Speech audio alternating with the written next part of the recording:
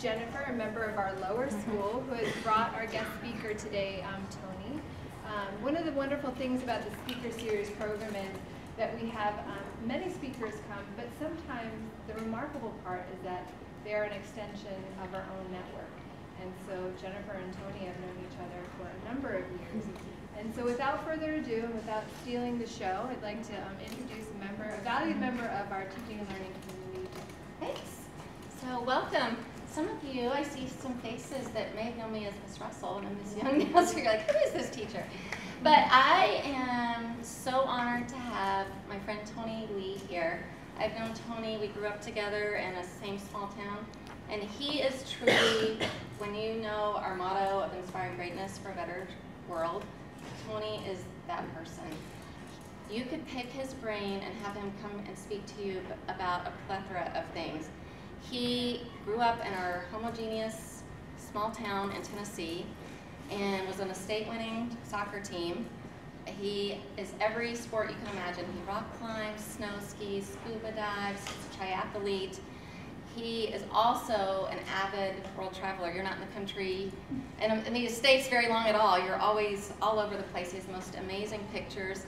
And he is not only a wonderful person and a friend, but also an extremely successful businessman.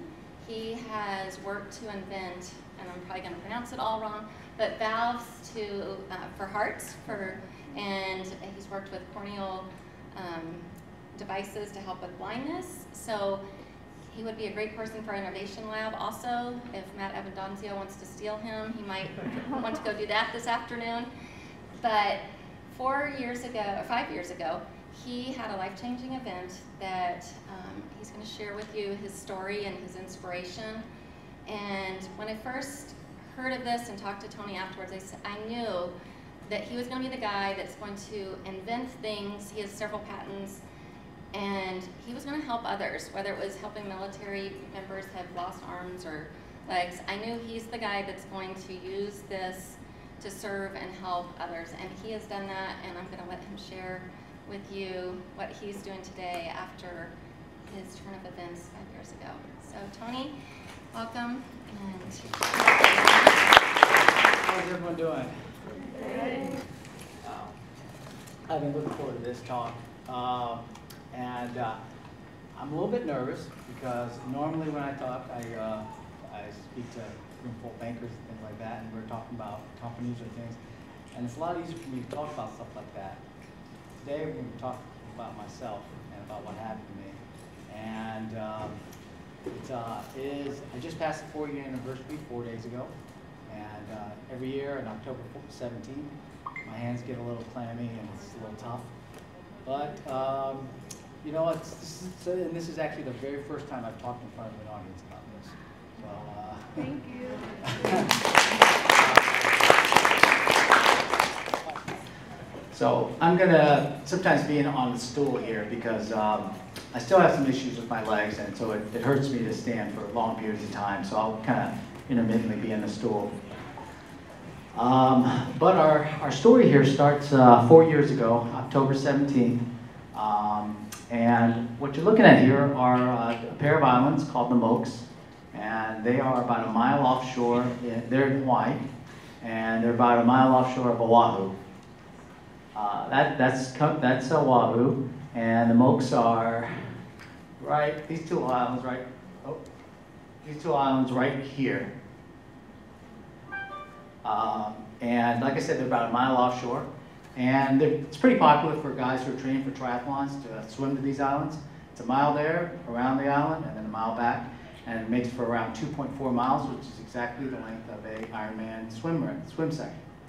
And so lots of guys do it. And uh, this is me and my buddy Maz. Uh, this was another time we swam to the island. Uh, and we, uh, we, we, we swim there all the time.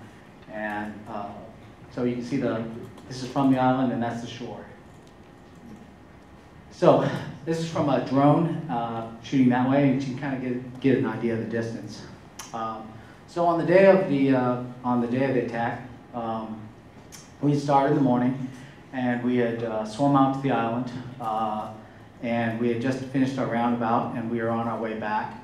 Um, and between the two islands, there's a pretty good rip current, and so one of the things you do is you just swim really hard because if you stop swimming there, the current takes you away. So you don't you don't stop for people. You, you just keep going till you get to the open channel in the middle. Once once you get in the open channel, the current kind of dies down, and then you can kind of wait for each other, and, and, and everyone can catch up. So I was about 100 yards ahead of Maz, and uh, I'd gotten to the open channel, and so I saw I was way ahead of him, so I was just kind of swimming slowly and just just kind of relaxing. And it's so beautiful to swim in Hawaii. Um, the, the water's clear. It's about 30, 40 feet deep, and you can see right down the bottom. A lot of times there's sea turtles, there's lots of coral, there's beautiful fish everywhere. It's just wonderful. Um, on this particular day, though, uh, it was a little cloudy. It rained the night before, and it was a little murky, and that was one of the key things I should have thought about because um, shark attacks happen a lot more when in, in murky water than in, uh, than in clear water. So anyway, I was uh, swimming along, and all of a sudden I felt uh, felt something grab both my legs and grab them hard. And my first thought was that uh, that maybe somehow Maz had caught up to me and he was just kind of messing with me, and grabbing my legs.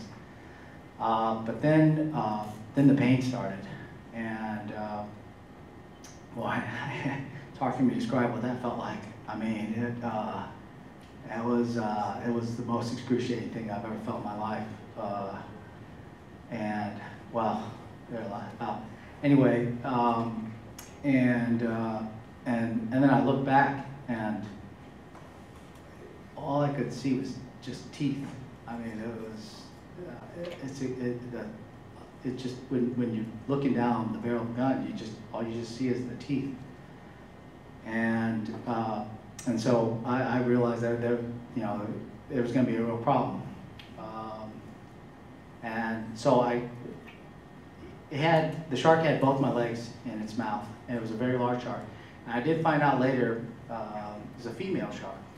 Um, I guess I'll get to this later in the story, but it turns out there's not a lot of people who survive shark attacks. And when, when someone does, all the shark experts of the world want to contact you. And so I was fielding phone calls, and everyone was coming because, you know, uh, there were still a lot of shark's teeth in my legs and stuff, so they were analyzing and they could figure out what kind of shark it was, how big the shark was. And we do know it was a female shark, and the estimation is that she had just had a child. And so when they pup, uh, they are very hungry. They need a lot of calories, and they will eat anything. And in fact, they have found uh, full car tires inside inside female sharks after after pupping because they're just so hungry they'll eat. They, they, their, their mind doesn't quite work very well. I've never seen anything. Um, so anyway, she had grabbed on both my legs, and I was swimming freestyle. So think about it, legs were grabbed, and um, and then she started pushing me down uh, deep. Uh, I was able to grab one good breath, um, but then. Sorry.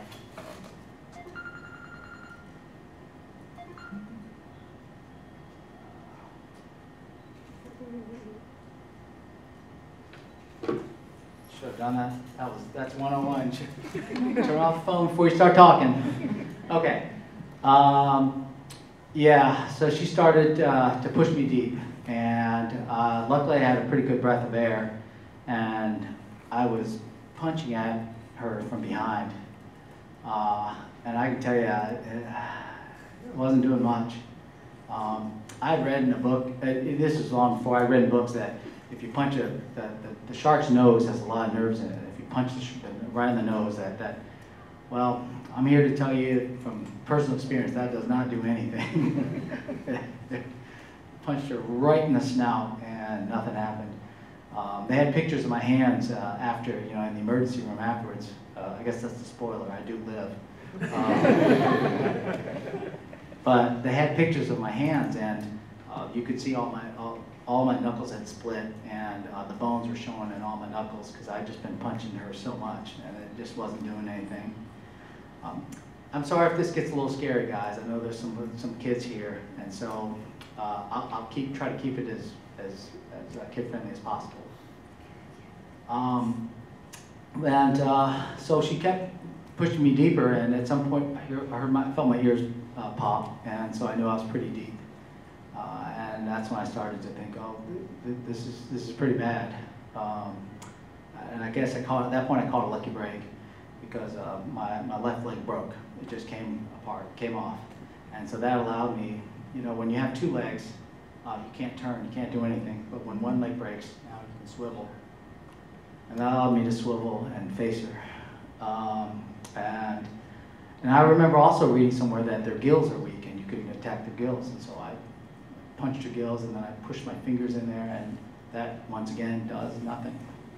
Uh, did not stop her. Um, and, uh, and that's when I looked and right above her, when I, I had both my hands on her gills, her eyeballs right above that. And I guess I should stop a little bit and explain what I do for a living. Um, I run biotech companies, and my most recent biotech company, uh, we're working on a biosynthetic cornea. Now, the cornea is the front part of your eye. It is a clear, uh, it's a clear thing that you see through. And when you put your contacts in in the morning, you are touching your cornea. Now, there are 15 million people around the world who uh, have lost their cornea and are blind due to their cornea. It is the third leading cause of blindness in the world. At this point, the only solution for that is transplant. Um, now, transplant is tough because you have to get there when the, uh, the original donor passes. You have to get there within an hour of death, and you have to cut the cornea out, and you have to you can preserve it, and uh, you can preserve it for right about a week. Um, so you have to find a match within that week. So because you know it's such a difficult thing, um, there are only about 60,000 transplants available a year, and 15 million people, but only 60,000 transplants. So you can see there's a pretty big gap there. Um, so our company had developed a way to grow corneas in a lab, and so that's what we were working on out in Hawaii. And so we were working on this, this way to, to tissue engineer these corneas together. Um, and what we would do is we would test these corneas on pigs. Uh, you, because you have to kind of, you, you, you, install the cornea and you have to check it to see if it, it has enough strength, tensile strength, and enough uh, impact resistance to last inside a human being. Um, and so pig anatomy is really interesting. They have three eyelids. They have the regular eyelids that you and I know, and then they have a third eyelid that goes across the side. And that's called a nictitating membrane. Now what a nictitating membrane is, is it's a protection for the eye. So kid, pigs like to run through brush and they run through all these uh, brambles and all these things that scratch people's eyes. And so what happens for them is they put this nictitating membrane across and that allows them to run through there and they don't get any scratches on their cornea. And that's why, like so a lot of times in Hawaii, there's a lot of a lot of feral pigs running around. But the dogs love to chase the pigs, but dogs don't have that memory and they get caught in these brambles. And unfortunately, these dogs, you know, get scratches on their cornea, and, and it's it's not a pretty thing.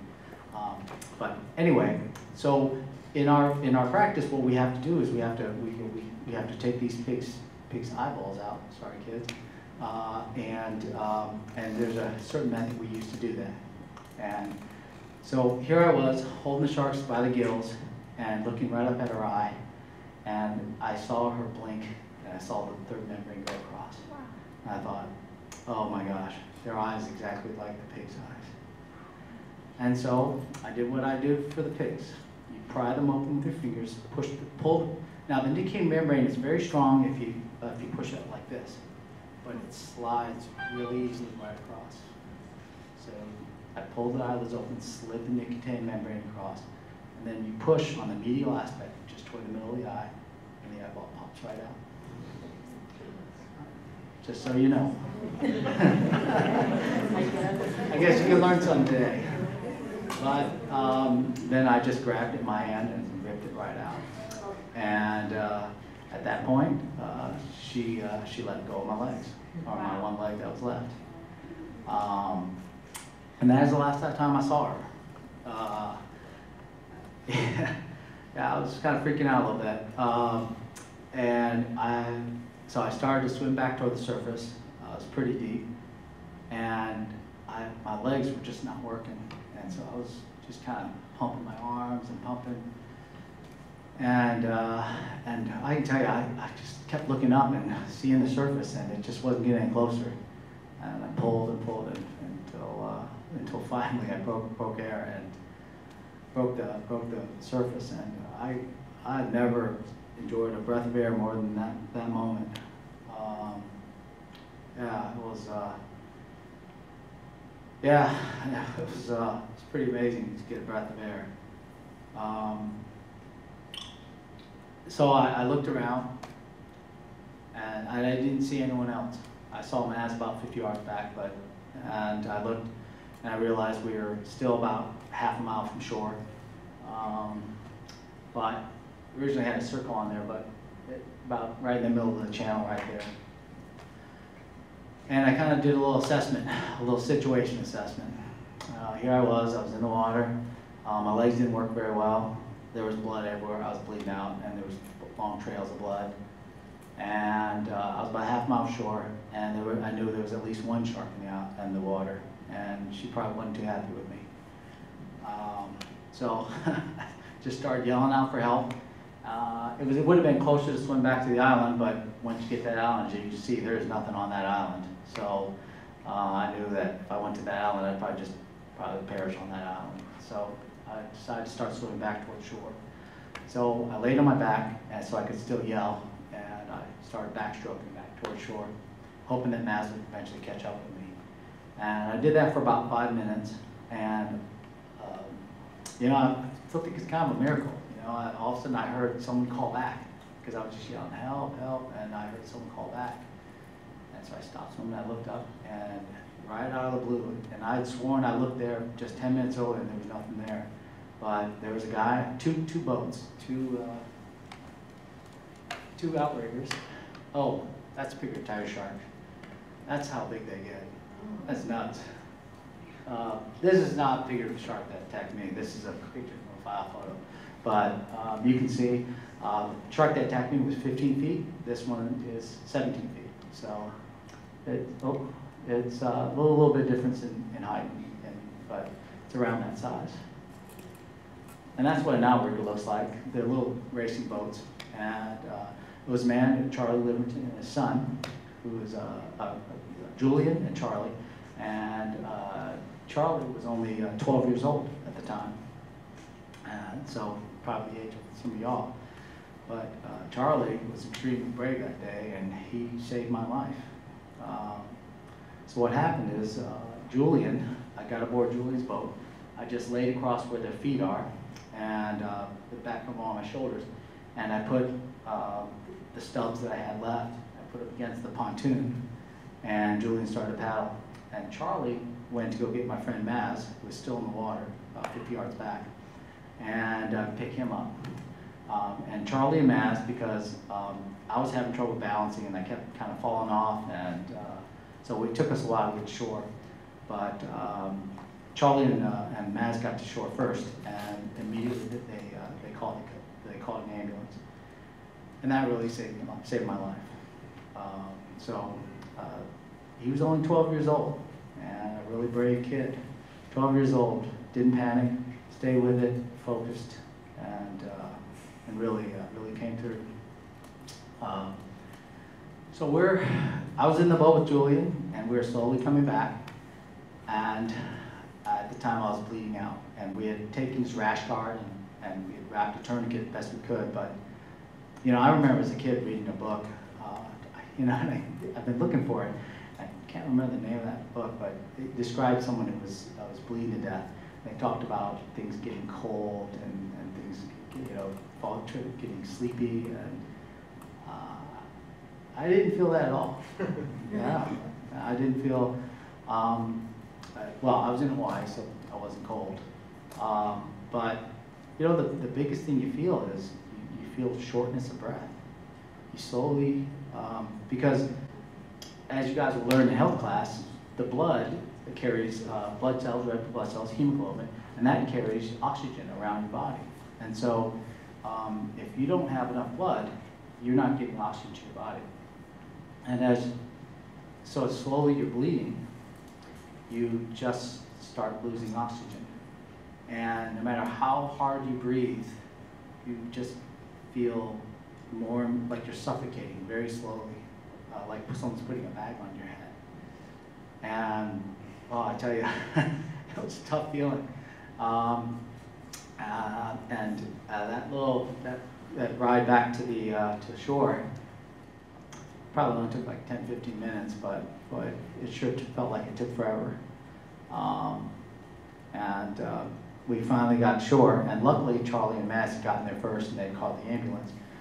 Interesting side note, but um, the, the, this is the east side of Hawaii. It's pretty rural over here, and there's only one ambulance. And five minutes after Charlie called, um, somebody else called for an, for uh, an accident up on the northeast side. And so if Charlie had- hadn't gotten there in time, when he did, um, that ambulance would have been heading north. And at which point, that's how Charlie saved my life, because he, he didn't dawdle at all. He got there, he got right on his paddle, and he got right home. And so that was important. Other interesting side note, this is, uh, this is, I tell you, this, this story gets really crazy. So it's, if you all what's ever seen, there's a TV show on ABC a couple years ago called Lost. You know, it was about a couple people on an island. So there was an actor on the show by the name, uh, he was a kind of a, a rotund gentleman. Uh, his name, on the show they called him Hurley. Uh, his name in real life is uh, Jorge Garcia. Well, crazy enough, Jorge owns one of those houses right there. And he was standing on the beach when, when Charlie came in, and he's the one that called uh, 911. So, can you believe that? Hurley is the guy who called 911. Yeah, gets nuts. Anyway, finally get to shore, and uh, and uh, so uh, I've been around uh, been around medicine my whole life. Uh, uh, spent some time in med school, and I know some things, certain things that if once you get to an ambulance, your chance to survive goes up to almost 50 percent. Once you get to a hospital, your chance to survive goes up to almost 95 percent. Um, I think we're out of batteries. That's all right. I knew that it was important that I stay awake until we get to the hospital. And, uh, and I also knew that if I panicked, then, um, that, um, shock would set in. And so the trick was to remain calm and to stay awake.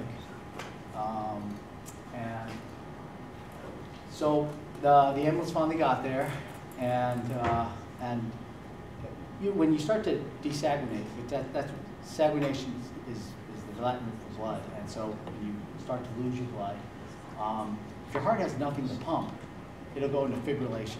Now, your heart normally beats in this nice rhythmic fashion like this. Um, fibrillation, it, it goes all cattywampus. It does this weird little fluttering thing. And that is really bad because uh, you're, then you're not pumping blood. And so um, the first thing the ambulance had to do was get some, uh, get, to get some, some kind of fluid in my body, so they get some saline. And so the, the, uh, the EMT, he understood that. And what he was trying to do was trying to put a line in. Now, I don't know if you guys have ever given blood, um, but in order to do that, they have to put a line in. I did notice that um, there's a blood drive next week. So take note of that. So the, the gentleman, the got- was trying to, they had me in the ambulance. It was probably in the upper 90s in temperature, so everyone was hot. And by that time, several hundred people had gathered from the beach, and they were all standing around.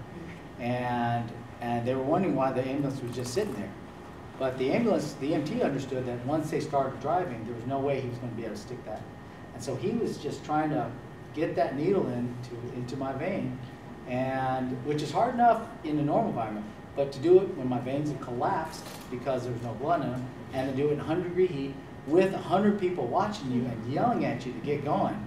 I remember looking at his eyes, and his whole face was just sweating, and I thought, wow, well, he's in a rough spot. Um, But, uh, but he did finally get it in, and we did start going, oh, thank you.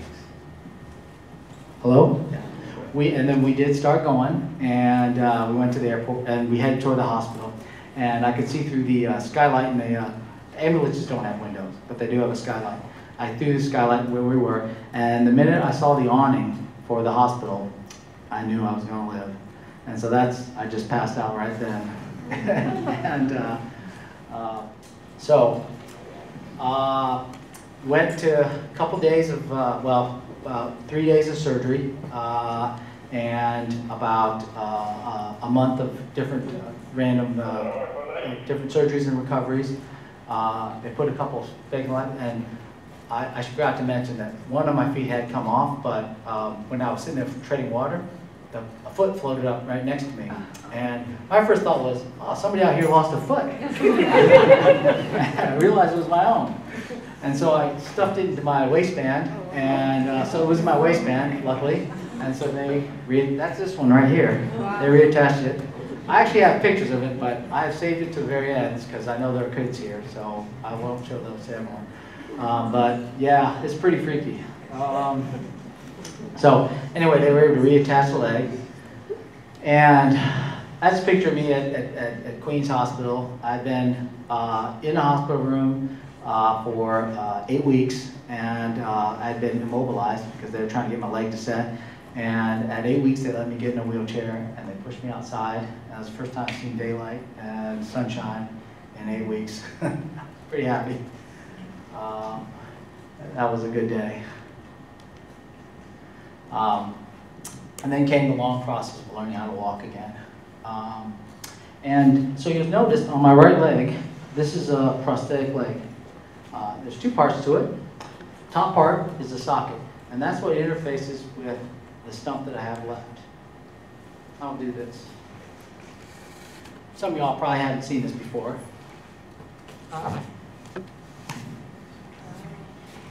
So this is the stump I have left.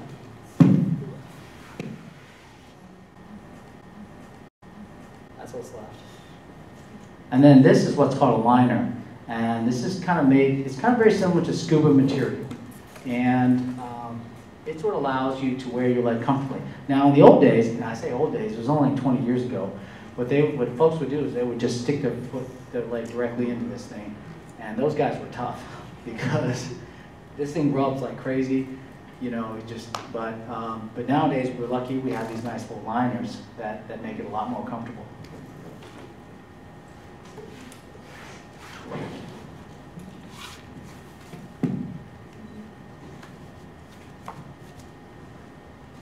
And then the leg goes right on. On top of it, and there you go. And so that's the socket. The sockets are made to fit your, you, your particular person. Every person has to have their own special socket. And they take a molding stump and they fit the socket around it. Now the leg on the bottom, that's where the fun part is. Now this leg is um, from a company called Freedom Innovations. It's carbon leg and has a little bit of a bend to it. But me being an engineer, I figured, well, we can do all sorts of other different kinds of legs. Um, this leg is made for walking uh, and being comfortable, so there's a little bit of a spring to it. Um, that allows you to walk. Now, when you normally walk, uh, th- there are different steps of the different uh, um, portions of, of, of each stride. There's a heel strike, where your heel strikes, and you roll. At the very end, there's a kick, and that's what your uh, that's what your calf does. Your calf does that kick. Well, we don't have calf muscles, and so we don't get that little spring you get on each step. And that's what the that's why these legs have a little spring built into them. So that gives us a little bit of spring when we walk. And it's very noticeable because when you wear a leg that doesn't have that, you really, really notice it. You feel it's really hard to walk. Um, so this is one of uh, one of the physical therapists that was helping me stand up, and that's my first day walking. Um, and being an engineer that I am, I decided that I would try to build other legs to do other things. Now, um, because of the Gulf War and the other subsequent wars we've been having, um, there have been a lot of folks, a lot of amputees.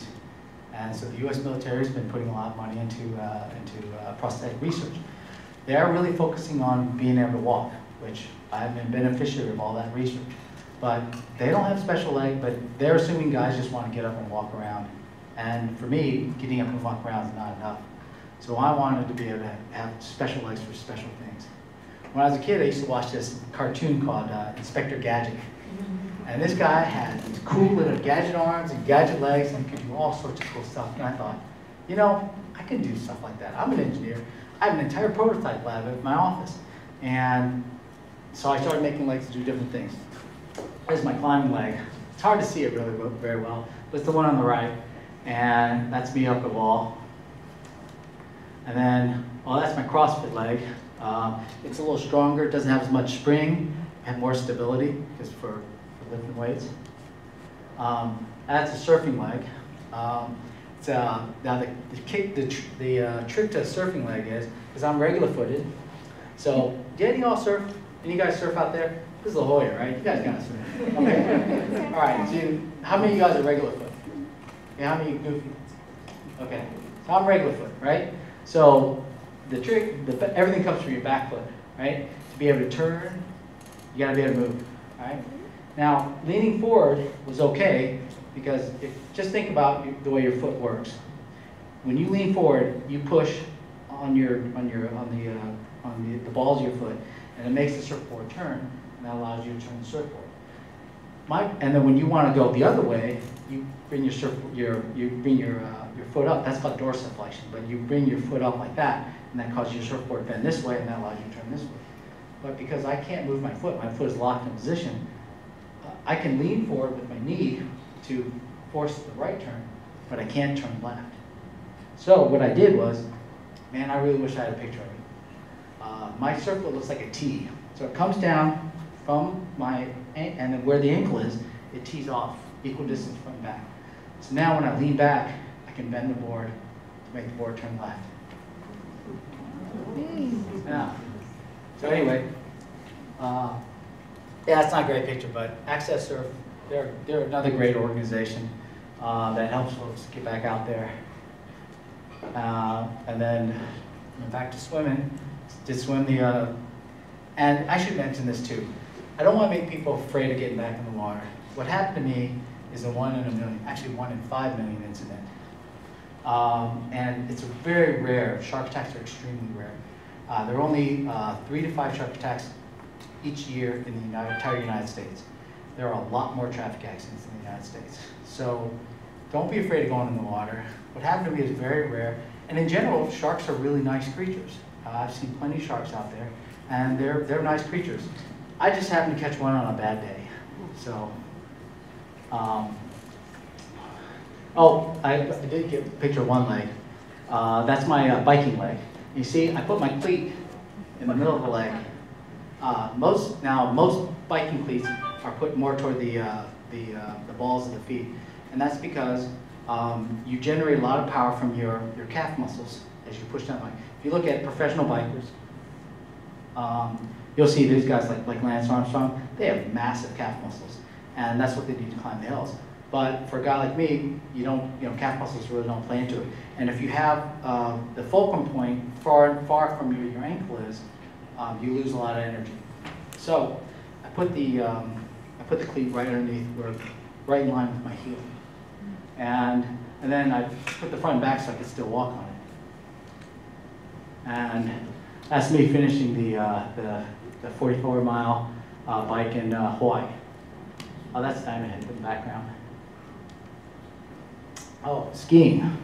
So, ski leg was interesting. Uh, so I figured, you know, why even have a ski boot anymore? So this is the front. I just took, I just cut the bottom off the ski boot and then attached it to a shock absorber and a little video of me. Thanks. So that's with the new ski foot. A little bit of 360 there. Uh, this is out in Park City, Utah. Uh, so anyway, my point is, uh, with all the wind noise there, my point is that um, that even if you have amputations, you can still live a very full life. You can still do a lot of things. And these are all prototypes. These are all things. These are so early on. Um, these are things that that that uh, we're just starting to, to build. And hopefully there'll be some engineers here in the audience, or some other folks here in the audience that can take some of this. And you guys look very athletic, and you know you guys probably get out there and do sports. You know how sports works. Build a leg for it. Figure out a way to transfer your knowledge of how of what you need to do in order to be good at sports. Put that into a mechanical leg. So anyway, I want to thank you guys for coming out here. And uh, if you have any questions, I'm really happy to talk about this.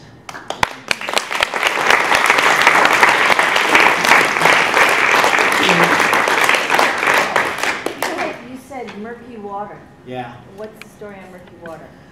Well, sharks are ambush attackers. Um, and so I did not know enough, uh, very much about sharks beforehand. But as I mentioned, as soon as people heard about that guy survived a shark attack, uh, I got called by probably every shark expert on, in the world and a lot of interviews. Um, there were a bunch of teeth still on my leg, uh, the, especially the leg, the foot that I'd uh, say. Their teeth come off when they bite.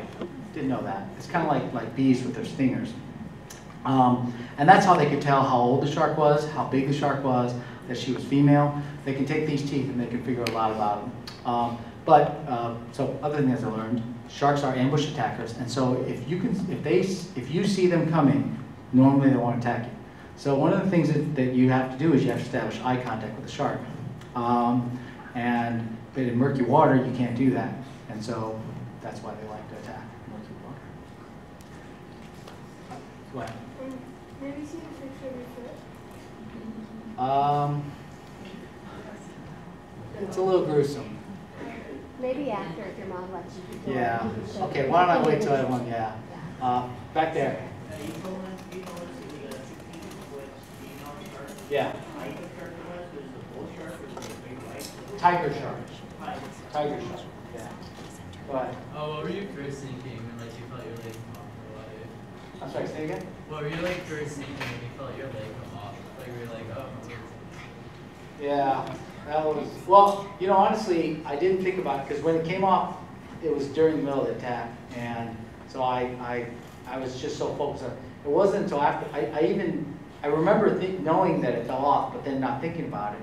And then when I finally got back to the surface, when the foot, when the foot floated up, I honestly wondered for a second whose foot it was, because I had forgotten my own foot had fallen off. And that's when, that's, so, you know, it's funny how your mind kind of compartmentalizes things, especially when you're under stress. You just, you just kind of, yeah, it's, it's weird. And, and honestly, that didn't hurt at all when it came off. I think, because most of the nerves are around the surface, so it's the initial bite where most of the pain happened. Ahead. How were you able to remain calm when you were in the ambulance? Do you meditate or were you just? Yeah, I, I, I don't, I mean, I think a lot of remaining calm is knowing what's going on. And, um, you know, I, I, I knew what was happening. I knew what my chances were. I knew that I had to stay. And uh, I could read the, uh, the little, they had uh, me hooked up to some monitors. I could see my, uh, my O2 level dropping. And as everything was heading towards zero, that was, that was concerning. Um, but I, I'm a pretty calm guy in general. I mean, I think that's kind of what it takes to run a startup. Um, yeah, because sometimes there are fires going on. Uh, but you know, I, I I've always been a math guy. And side note, but when I was just sitting there to, to stay awake, there's something called the Fibonacci sequence. It's one plus two, three, you know, three plus two, five, five plus three, eight. I was just doing those in my head and just kind of stay because I knew I had to stay awake. Because you cannot let yourself pass out before you get to the hospital. So math saved your life. That's. Study your, study your math sequences. There you go. Study your tables. I, I was 44 years old at the time. I'm 48 years old now. So that was uh, four years ago. Yeah. You have a question? I've seen a shark. Yeah. Did you see a shark in the water? Where'd you see the shark? In the water. Oh, wow.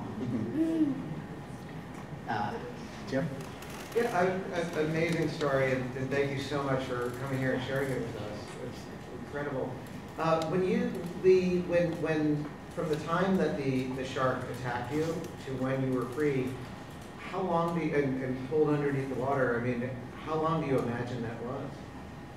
You know, it, it's hard to say. Um, a lot of things I know are because uh, my friend Maz uh, and uh, and uh, Julian Liverton, the, the guy in the boat, they both had GPS Garmin watches, and so that's how I know exactly where we were uh, between um, um, uh, between the Mokes and shore when it actually happened. That's how I know we were a half mile, and I think it was probably about you know maybe um, two or three minutes, but I can't really trust my, my own, just a lot of things were happening and uh, I know he moved me a fair distance because I saw a long trail of blood in the water.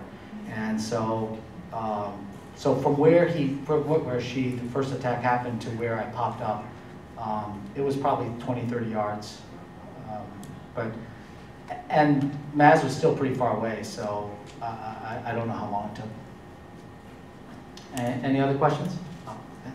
You said, um, I know that you're creating a lot of the prototypes, but, um, have you started working with any maybe other nonprofits or, uh, like Wounded Warrior to help kind of get that out in the market at all? Boy, I am glad you asked that question because uh, that's something I, was, I meant to talk about. Um, there's a group uh, that's called the Challenge Athlete Foundation, and they're actually based in yeah, in uh, in La Jolla. They're based down the street, uh, but they're a nationwide or they're a worldwide organization, and it's an organization that helps raise money so that uh, to buy legs so that um, that, that people can can uh, participate in athletic activity. Uh, a lot of insurance will cover a leg to walk, um, but um, the, the foundation feels, and I also feel, that there's more to life than just walking around. That being able to go out there and do sport, be able to hike. Th- This, by the way, is on the north shore of Kauai. Kauai is another island in Hawaii. It's called the Na Pali Coast. It was a very long hike in, and uh, and it's but it's a deserted beach and it is beautiful.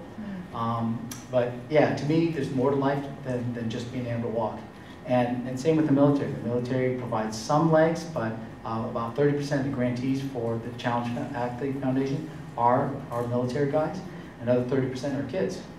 And so it's a, it's a really great organization. Uh, we have an annual uh, triathlon, and it's in La Jolla.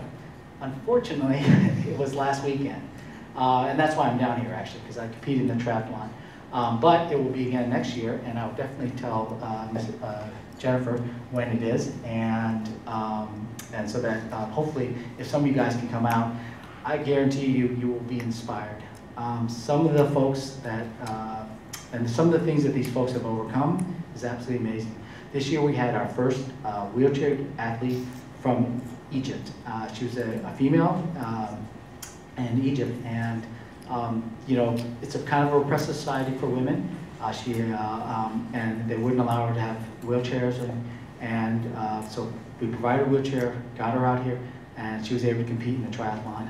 And so uh, it was just really, uh, really amazing sight. Anyway, uh, any more? I just want to say that I did uh, participate in that um, this last weekend. And there's all kinds of events. You don't have to be able to run 10 kilometers or 10 miles. Yeah. there's uh, five kilometers, there's walks. It's, it's awesome. It's so inspiring. Yeah, and yeah, it's- and it's, um, it's not just for, for uh, folks with handicaps, it's, it's for able-bodied people too. There are events all weekend, there's, uh, there's, I think you participate in the yoga and. yeah, uh, there's yoga. yeah. You can do the um, triathlon in a relay. So I did the swim section, someone else ran, someone else did the bike. So you don't, you don't, yeah. Yeah, or you just come out and cheer. And Yeah. just come and cheer. It's Yeah. really, it's really cool.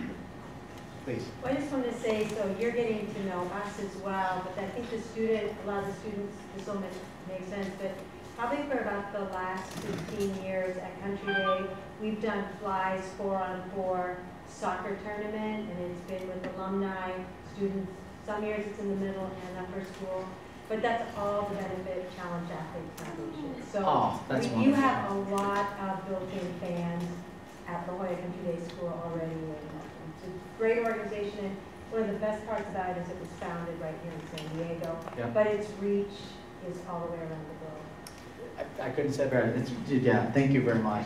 And, and thank you guys for, for helping us all out. Um, yeah, the money goes to a great place. And what, what, you know, hopefully we can try to bring some, uh, some other athletes here next year.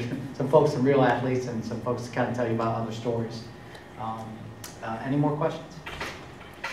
Oh. Did any feelings come up the first time you went back in the water? Uh, yeah, yeah, that was rough. My first day back in the ocean was tough. And, and even now, when I swim in the ocean, I usually, I- every four or five strokes, I check behind me real quick. Um, yeah, it, you know, it, it is, uh, it it was scary going back the first time, but I, I- you know, it was, uh, it was a real important part of my life to be able to swim in the ocean. I really enjoyed it. And I just didn't want to let something like this, you know, take it away from me. And so I figured I was going to go back in there. And uh, so I, I swim fairly often in the ocean still. Um, but, uh, but yeah, I, I, I do check my check behind me every now and then.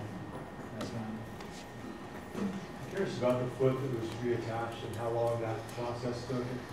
it's easy to say, oh yeah, they reattached it, but I'm sure that had to be super complicated and Yeah. wondering about the rehab that was involved in that too. Yeah, yeah, that's, that's, that's always been, been awful. Um, uh, there have been nine surgeries in three years for this, and, uh, and, uh, honestly, I'm not sure where it's going right now, because, um, this is the, this is the, uh, the left side, the set, they call it the salvage side, is the problem side. Uh, and that's why I can't stand for more than a few minutes. Um, and you notice what I do is when I stand, I, I basically put all my weight on my prosthetic leg, and I, this leg is just kind of a kickstand to kind of keep me from falling over. Um, yeah, I'm not sure what to do about it. Uh, the, the doctors are telling me to hang on and, and, uh, and it'll get better, but it's been three years already. And, but other folks are saying, well, maybe it's better just to amputate it. In fact, a lot of the, there are a lot of uh, dual amputees uh, out there this weekend, and they say, well, you know, just, you just, you know, just go for it. Uh, and from the engineering side, having two prosthetics is actually a lot easier because now I can, you know, make two devices and, and do all sorts of interesting things. I have this idea for like a Segway, you know, basically taking the wheels off a Segway and taking a gyroscope so that I can like roll and move forward and just attach it to the bottom. Um, but but yeah, I just haven't had the, uh, you know, I, I like to tell people it's kind of like, you know, when I was a kid and there was a high dive and you get up toward the top and you go, okay, I'm gonna jump off that thing, I'm gonna jump off that thing. And you get up there and you look over the edge and you just, um, yeah, it's, it's, once you cut off, it's a one-way door. And there have been a couple times when it's been a long day, I've had to walk through a couple airports and my legs hurt so bad and I just put, I have my peak surgeon on speed dial and I lift my phone and I just, just chicken out and I don't do it. Maybe one day I will. Honestly, I'm not sure. Um, please. um, with the kind of um, movement that you're offering, you know, with the legs, um, but do you, I mean, it seems to be kind of the same structure that's been around for a really long time. Do you see it or do you think about changing, like just kind of reimagining the whole thing, right? Yeah. Because you've kind of just taken the thing that, that worked Yeah. and trying to make it better. But do you think there's innovation for maybe just completely changing it up and creating a new product? Yes, I, I, yeah, you know, the, the nice thing about, um, well, the nice thing about being an amputee you're no longer constrained by what God gave you. You know, you, now you have freedom to do almost anything. And, um, yeah, I, I'm, I mean, 40, 48 years old is not young. And so I am constrained by a lot of the way I think by years and years of just doing whatever. And that's why I'm kind of hoping one of these guys who comes in with a completely fresh set of knowledge. You, you know, whenever people, most of the time when someone wins a Nobel Prize, you know, when you, uh, they just announced the Nobel Prize winners a couple weeks ago, and they're going to get the awards around Christmas time in, uh, in Sweden. But, and, and you'll see a bunch of white-haired old guys, mostly dudes, unfortunately, it really should be even, but anyway. Um, you're gonna see a bunch of old white-haired people go up there and get the awards. And you're gonna think, oh, that's because they did it when they're old. No. They do, most of the groundbreaking work is done when people are young. And it takes 30, 40 years before the Nobel Committee deans to give them an award, because they have to see how it turns out. But most of the real groundbreaking work is done in your 20s. You guys are getting ready to hit that. And so what, what she said is, is exactly apropos. A lot of things I come up with kind of look like a regular foot, because that's kind of the way I've been thinking, and it's hard for me to break out of that. We need someone young and someone who just come in there with a totally new way of thinking of things. It does, maybe it doesn't have to look like a foot. Maybe it can look like a wheel, it could look like anything else. Yeah, the sky's the limit on this. Thank you all for being such a great audience.